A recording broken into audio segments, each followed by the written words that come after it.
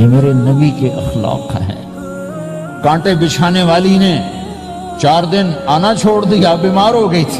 तो आपने क्या बात है, वो हमारे रास्ते में अब कांटे कोई नहीं है? कहा, ये वो बीमार पड़ी है जो कांटे बिछाते थे। तो आप उसके घर चले गए। माँ जी, खैरियत तो है, आप ठीक तो हैं? कहा, बेटा, मुझे कलमा पढ़ा दे बस। तेरे अखलाक ने मुझे फतह